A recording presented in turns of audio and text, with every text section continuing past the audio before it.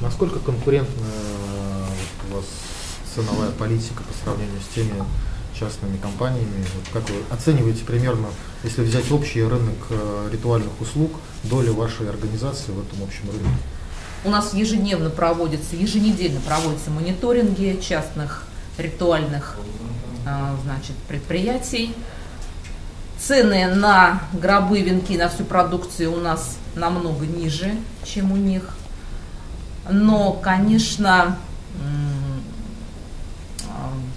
практически, наверное, 60 на 40, что люди, а, значит, родственники умерших приходят к нам, и где-то 40% они расходятся по частным предприятиям.